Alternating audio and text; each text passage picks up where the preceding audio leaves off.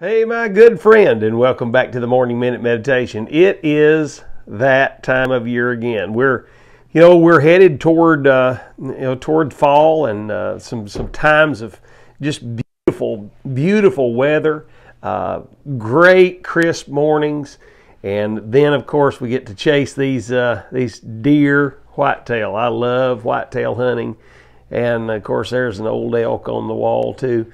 But I love this time of year. And uh, to be in this time of year hunting is a wonderful thing. I love chasing big, big trout with a fly rod. That is a passion of mine as well. But to, to you know, to, to go after these white-tailed deer is something just for me is special, and I love it with all my heart.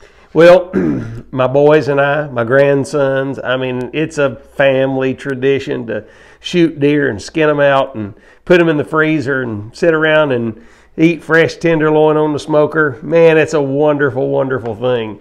But here I am in the in the study this morning, thinking about this passion that we have for this, and I'm reminded of 2 Timothy 2:26, uh, and that they may recover themselves out of the snare of the devil, who are taken captive by him at his will. Uh, Satan is a trapper; he's a hunter, and he comes after us with one uh, one goal, and that goal is to wreck, ruin, destroy our life, and to, and to annihilate our testimony, ruin our family. And he's done a good job of it through the years with not just laymen, but with preachers alike.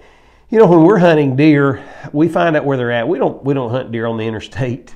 Uh, though you see a few killed there, we don't hunt them there. We hunt them in their habitat. We go where they're at we find out what they like, the, the streams they like to drink at, the places where they like to bed, what they like to eat. And we perch above them in the trees, whether we're hanging from a tree saddle or in a good summit stand. We, we're there for the purpose of taking their life and taking them home with us. And those who get to be very big learn how to avoid the trap. Those who become great and mature learn how to avoid the trap. Hey, have you learned to avoid Satan's trap? I suggest that you do that before it costs you more than you have to pay. Think on these things today, friend, and have a great bow season.